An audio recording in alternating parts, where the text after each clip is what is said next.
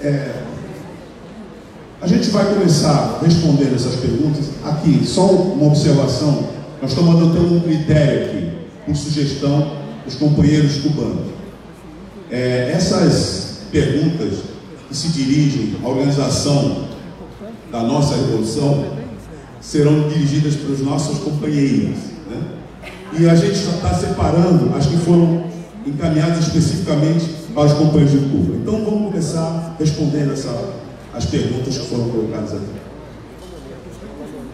É, então, algumas eu.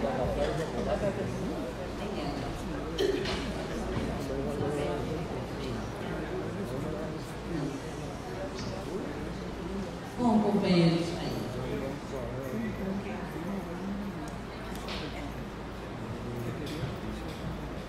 Porque as críticas a quem fez algo, bom, eu acho que as críticas elas são quase natural no nosso meio, né? A crítica, às vezes a gente esquece a autocrítica também, né? Não é? Mas faz parte, não é verdade? A- a necessidade de tudo que se faz passar pelo crivo da consciência, da avaliação, da crítica. Isso faz parte até para avançar. E depois um processo de correção. Às vezes tem momentos que a vida é tão acelerada, a própria luta, que não há tempo. Não há tempo. Por exemplo, nós acabamos de sofrer golpe aqui no Brasil. Um golpe, um retrocesso, e temos que fazer as avaliações, as correções e travar a luta e avançar e avançar.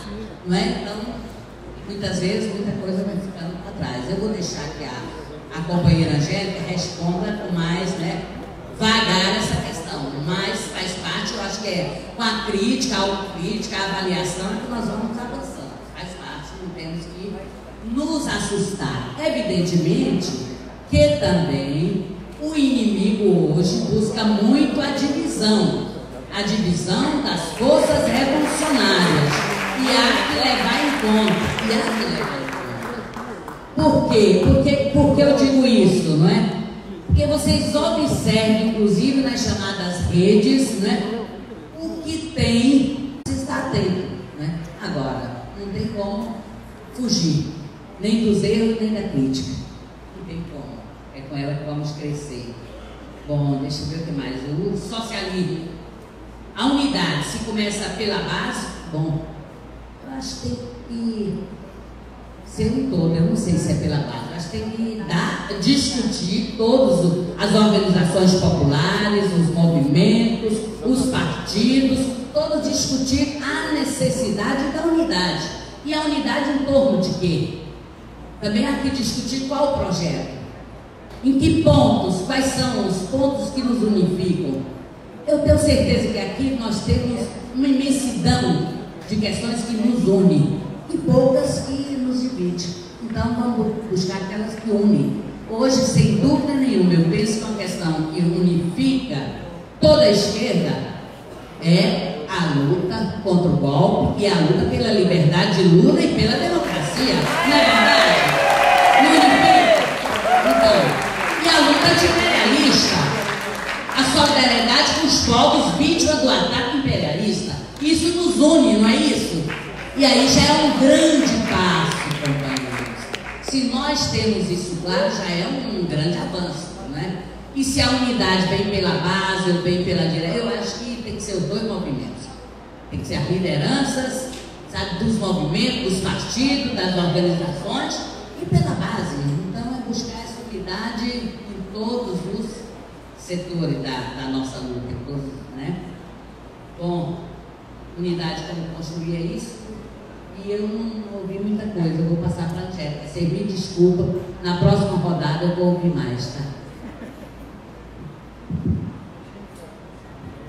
Ah, queria agradecer a todas as perguntas encaminhadas aqui para a mesa, todas as questões levantadas.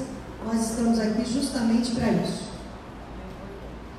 E acho muito importante demarcar duas questões que já ficaram indicadas na fala que eu trouxe aqui, para essa convenção, e que agora eu gostaria apenas de aprofundar.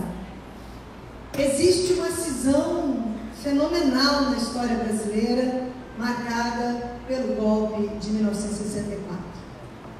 Ela divide, de fato, dois tipos de esquerda.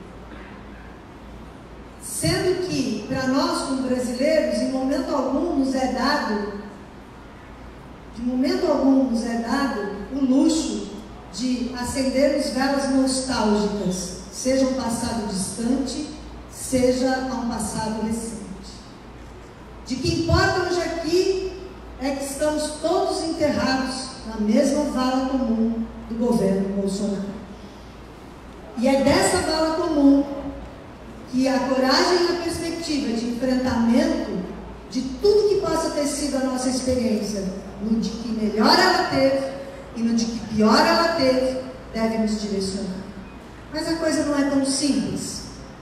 Há uma diferença qualitativa fundamental entre a esquerda e seus eventuais, porque houve erros do pré-64, e essa que se formou depois de uma ditadura no pós-64.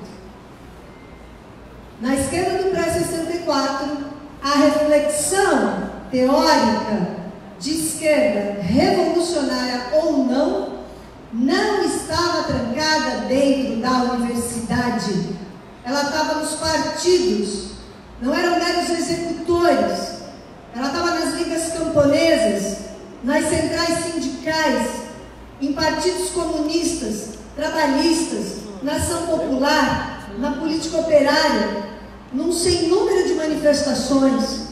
A greve geral de 1953 dos 300 mil, que ninguém consegue lembrar no pós-64 que aconteceu. Uma história e uma luta que o próprio pós-64 apagou. Nós, como esquerda, vamos ajudar a enterrar? E é nesse ponto, exatamente aí, que ao vincular toda a reflexão teórica, e como se diz no popular, sem teoria a gente não vai até a esquina, não basta um jargão, um jargão tem que ter dentro de si uma significação.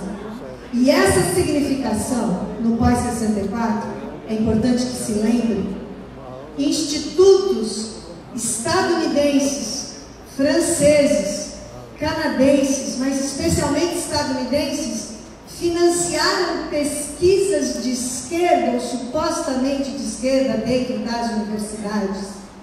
Formou-se um conjunto de pelo menos quatro teorias que, ao invés de falar do nosso subdesenvolvimento e da nossa dependência, indicá-los em toda a sua construção, eu não chamei Marina aqui à toa a nossa lembrança do subdesenvolvimento, mas passou a indicar um de fato atraso e autoritarismo, mas nunca um indicativo econômico do que significava a derrota de 1964. 1964 não é uma derrota e um colapso do chamado populismo. É uma estratégia poderosa do pós-segunda guerra, com todo o G7 envolvido contra as esquerdas internacionais. E a partir do Brasil, naquele momento era a denúncia da pobreza e não desqualificação dela. E, portanto, imagine uma teoria de esquerda influenciada por um marxismo acadêmico dentro da universidade, financiada por fundações que tinham feito o golpe no Brasil, financiado o golpe no Brasil. Nenhum de nós, em sã consciência, pode ser concordante com isso. E nem muito menos esconder o sol com a peneira. Não há charme e nem aceitação. Isso é posição. A esquerda não pode indicar a sua derrota pelas, pelo vitimismo. Ela fez tudo certo e a direita fez errado? Não, ela fez tudo errado e a direita tudo certo. Não existe essa dicotomia em política. Não existe inocência em política. Política é correlação de forças dentro da guerra de classes, onde nós estamos na posição subordinada.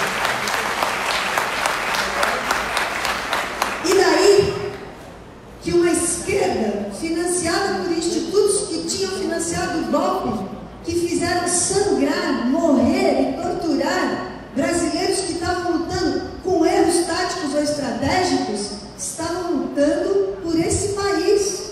Eles sangraram por nós. E ao sangrarem por nós, nós devemos a ele uma autocrítica.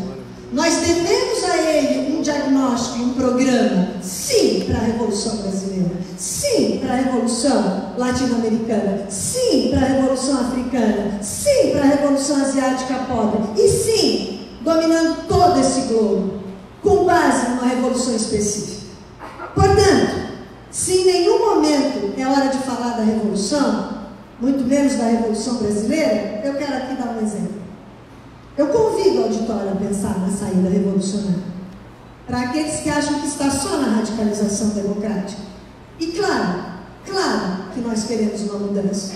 Mas onde está a insuficiência? Quando veio a ditadura, não era a hora então da esquerda falar em Revolução Brasileira, porque era resistência e a gente estava sendo reprimido. Aí veio o Sarney e com a transição transada, a gente tinha que assegurar minimamente uma abertura e não era hora de falar da Revolução Brasileira.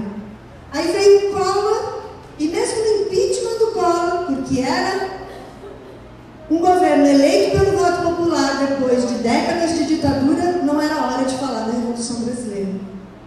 Aí veio o Itamar Franco, e porque fazia uma transição para um novo governo a ser eleito, não era hora de falar da Revolução Brasileira. Veio a FHC, que destruiu os petroleiros, destruiu a Petrobras. Foi ali que toda a questão que hoje está irreversível iniciou-se. Veio Lula com a estabilidade dos trabalhadores. Eu pergunto: a estabilidade interessa aos trabalhadores? Não se podia falar em Revolução Brasileira aqui. Dilma, mesmo no momento do impeachment, não era a hora de falar em Revolução Brasileira. Temer, já Dilma completamente fora do cenário. Não era ainda a hora de falar da Revolução Brasileira, no máximo, lutar por direta já. E acabamos todos no governo Bolsonaro. Obrigada.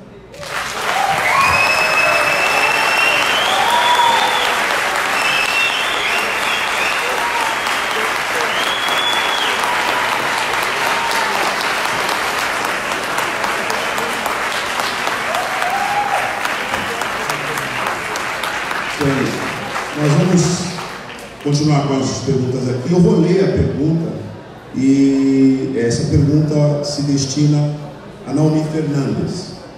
Então, a pergunta é a seguinte: se pode, se, se pode se quantificar o volume de recursos que deixam de entrar em Cuba por ano em função do bloqueio norte-americano? Obrigado.